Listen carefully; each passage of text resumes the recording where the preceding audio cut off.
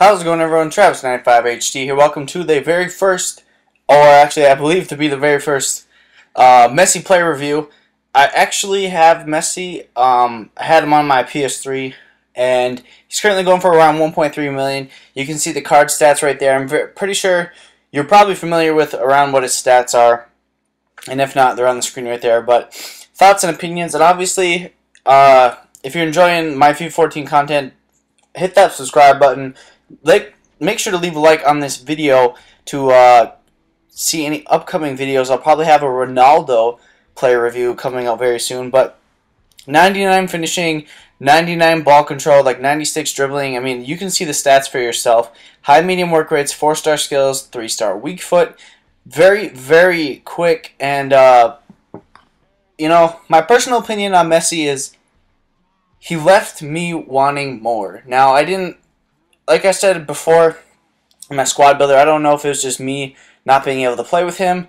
FIFA just generally, generally uh, having people be strong and tall, more to be uh, overpowered. But for me, it left a want, it left a lot to be wanted with playing with a 94 overall player and not getting what you expect out of a 1.5 million coin uh, player. I can honestly say that Benteke for me has contributed more to scoring goals and things like that. I've played about 20 games with Messi. I've tried him in a false nine formation, a 4-3-2 or a 4-2-3-1 formation.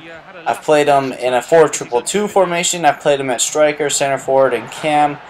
Left side of the field, right side of the field, striker and center forward. Like I've said, I've tried playing Messi almost anywhere on the pitch, and you know he had more production with me when he was in a center forward or a cam role, and I believe that is because he has 84 passing, and with uh, the quickness of Messi, he tends to get in better positions. This right here, this uh, clip that I'm showing right here, he wasn't even involved in the play. Iniesta actually got fouled for the penalty right there, but he tends not to get he tends to go missing on the field. He doesn't seek out a certain area of the field and make runs. He doesn't really seem to uh, he just gets lost, in my opinion. He doesn't really seem to take over the game, and uh, he just kind of runs around. Um, most of these clips, I didn't have very many because, like I said, I didn't, I didn't find him to be good, to be honest. Uh, is he worth 1.5 million? Probably not. I don't think many people have that many coins anyway, so don't even worry about buying them. But right here is kind of uh, one example of he did have I mean, good ball control, but um, he didn't have finishing shots for me.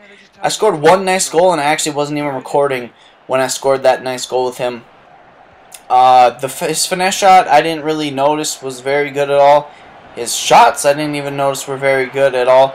Right here, Messi's left in a one-on-one, -on -one, and for some reason he takes it with his right foot and tries to finesse it around the keeper. He gets on the ball again and then ends up getting muscled off of it by a defender.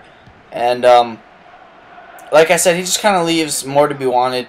He gets the ball right here, tries to throw a volley, gets tripped up by the defender, and ends up losing the ball. I just didn't, I didn't enjoy using him. I'm sure Ronaldo is probably going to be more overpowered than Messi. But, um, you know, one opinion is one opinion. It's not necessarily what makes a player good or bad. I mean, other other reviews might say Messi's a god. They might be a different play styler. And um, I scored one free kick with Messi. I don't even think I was recording that either. So um, none of the clips I got actually even show if he's good or bad. I guess it's just personal personal opinion as is any player review really. So um, this is the one clip I actually thought that it showed Messi being Messi.